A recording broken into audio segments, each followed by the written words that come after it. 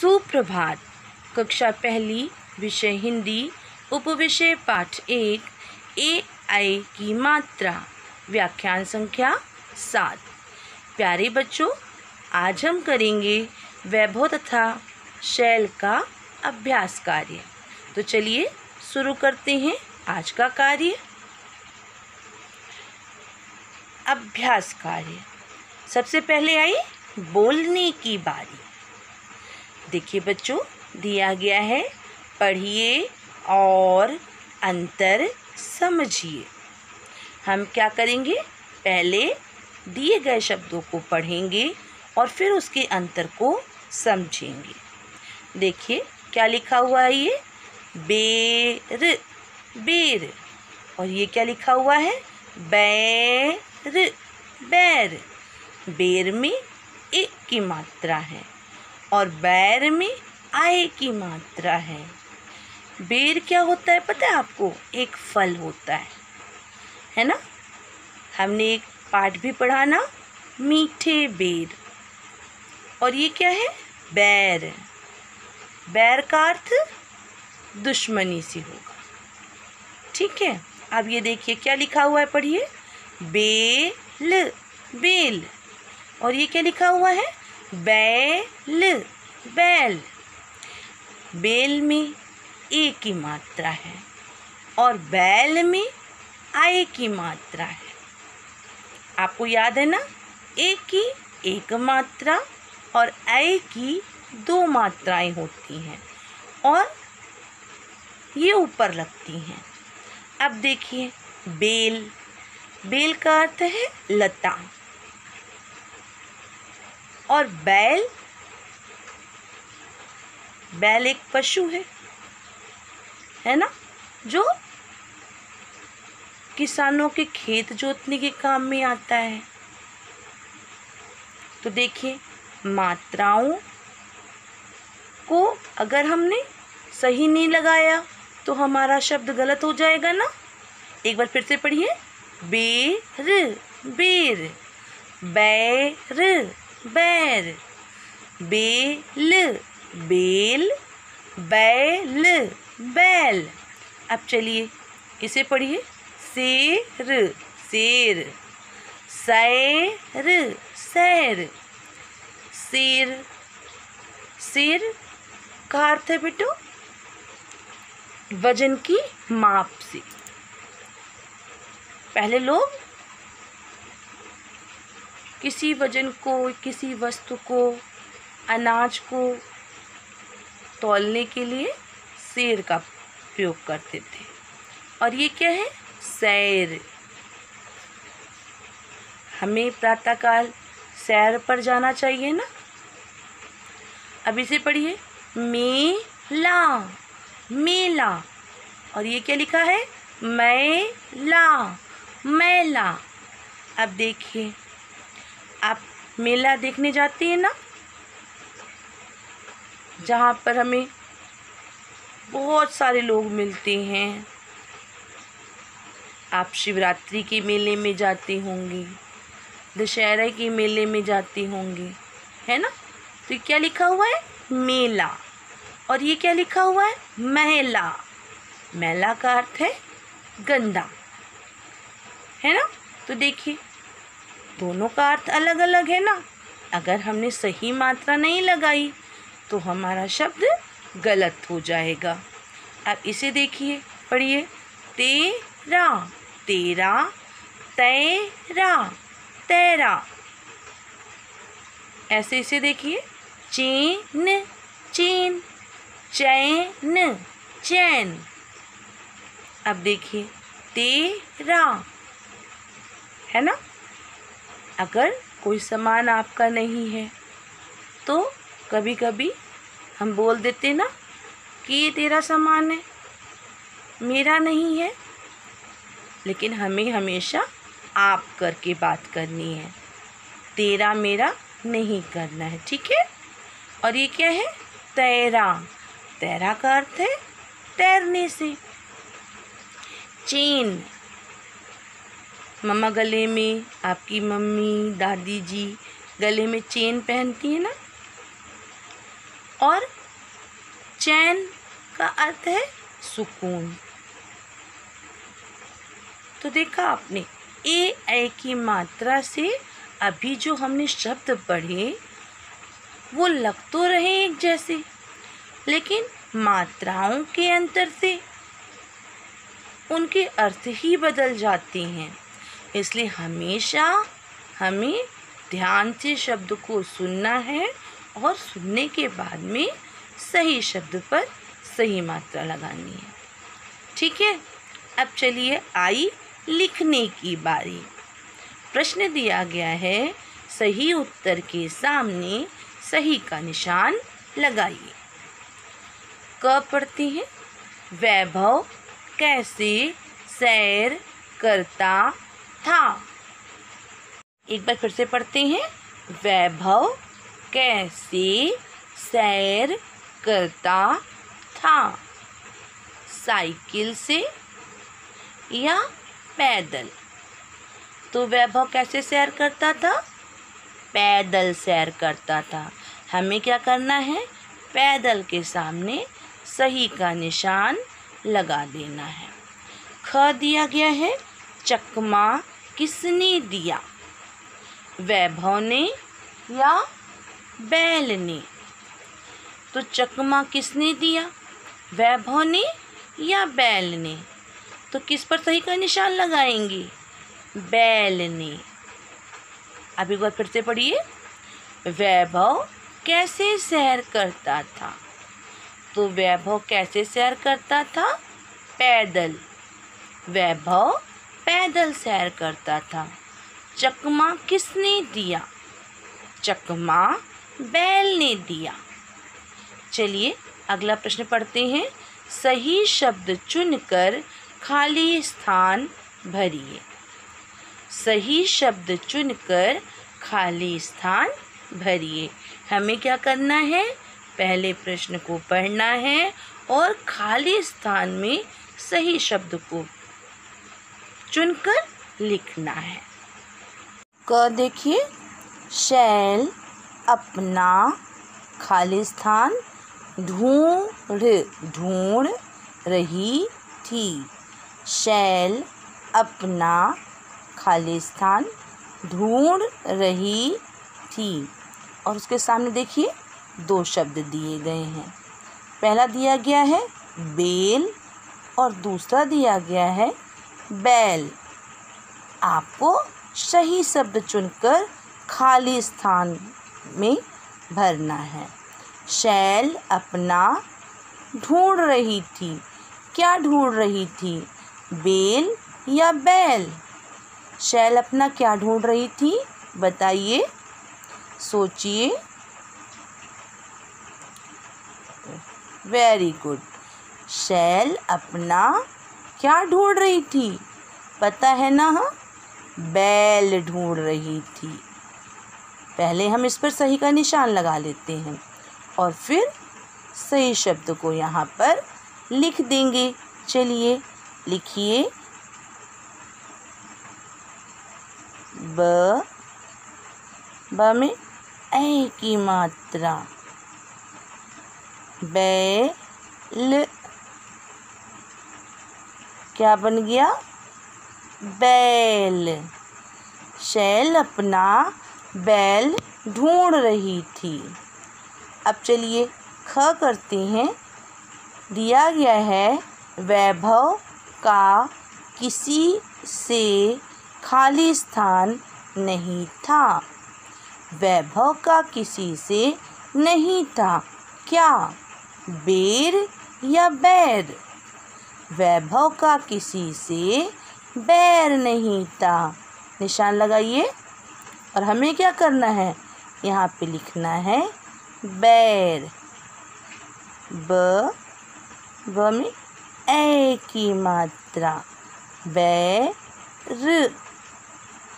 वैभव का किसी से बैर नहीं था। अब देखिए ग। ग में पहले ही खाली स्थान दिया गया है। करने से ही बैल मिलेगा। शेर या सैर? करने से ही बैल मिलेगा, शेर या सैर? क्या उत्तर?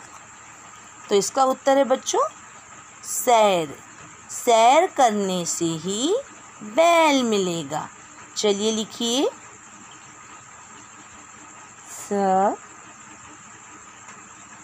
स में ए की मात्रा। सैर। सैर करने से ही बैल मिलेगा। अब अगला देखिए। घ। वैभव खाली स्थान कर नदी पार करता था। वैभव खाली स्थान कर नदी पार करता था। तैर या तेर? वैभव तैर कर नदी पार करता था। चलिए लिखिए।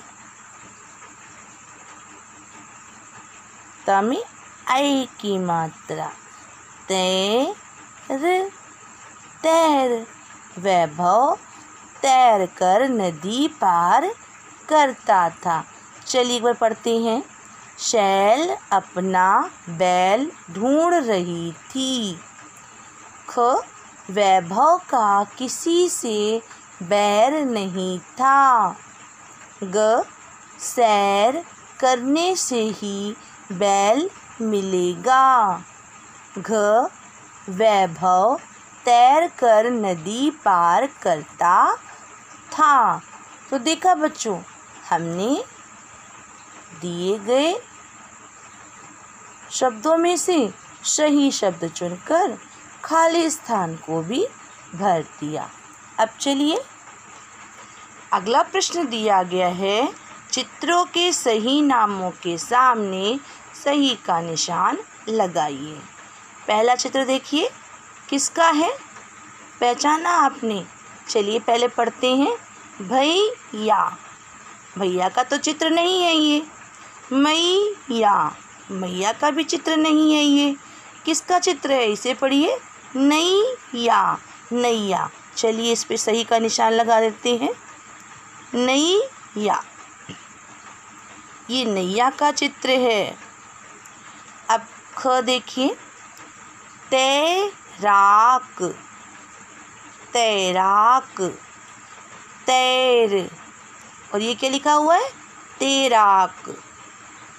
तो ये इसमें तैर रहा है ना? तो हम किस पर सही का निशान लगाएँगे? हम तैराक पर सही का निशान लगाएँगे। अब ग देखिए। चित्र को आपको पहचानना है, फिर सही शब्द के सामने सही का निशान लगा देना है। मै ला मैला तो नहीं है ये। थैला। थैला। ये थैला का चित्र है। ये देखिए, इस पे मैंने सही का निशान लगा दिया। अच्छा ये क्या लिखा हुआ पढ़िए? छैला। छैला तो नहीं है।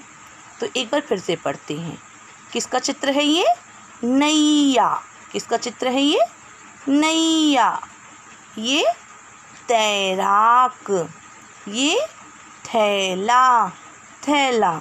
तो इस प्रकार से हमने सही चित्रों की पहचान कर ली और सही का निशान भी लगा दिया। अब देखिए बच्चों, प्रश्न दिया गया है, नीचे दी गई वर्ग पहेली में छिपे चित्रों के नाम को ढूंढकर चित्रों से मिलाइए और उनके नाम लिखिए। ये एक वर्ग पहेली है। इसमें दिए गए चित्रों के नाम छुपे हुए हैं। हमें क्या करना है? पहले उन चित्रों के नाम को ढूंढना है और ढूँढने के बाद उन चित्रों से उन्हें मिला देना है और उनके सामने उनका नाम लिख भी देना है। देखिए, किसका चित्र है ये? मैं ना। अब देखिए, यहाँ पर बना हुआ है ना? मैना के सामने ये देखिए ब्लू कलर से बना हुआ है ना सर्कल और एरो बना करके इसे मैना से मिला भी दिया गया है। पहचाना आपने किसका चित्र है ये? सैनिक का। किसका चित्र है ये? सैनिक का। ढूंढिए, देखिए। सैनिक। पहले आप ऊपर से नीचे देखिए। दिख रहा है आपको? नहीं। चलिए अब हम इसे ऐसे देखते हैं, अरे, ये तो पहले लाइन में ही है। और ये देखिए, सैनिक। और मैंने क्या किया? इस पर सर्कल कर दिया। अब इसको इससे हम मिला भी देंगे। और यहाँ आपको लिखना भी है। चलिए लिखिए।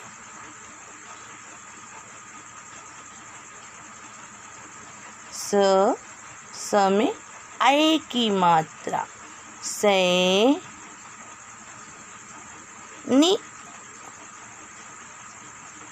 क सैनिक और ऊपर शिरोरेखा। चलिए, अब दूसरा चित्र पहचानिए। किसका चित्र है ये? बैलगाड़ी का। अब ढूंढिए, पहले लाइन में देखिए। बै मिल गया ना? अब दूसरी लाइन में देखते हैं। ल बैल अब तीसरी लाइन में देखिए। गा। और चौथी लाइन में देखिए। री। अब देखिए, बैल, गा, री। और इस पर सर्कल कीजिए।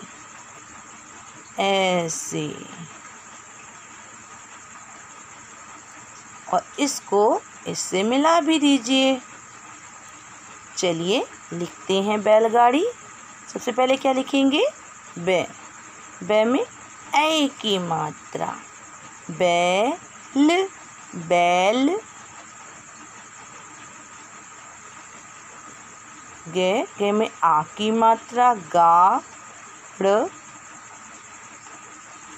में बड़ी की मात्रा ड़ी बैल गाड़ी, बैल गाड़ी।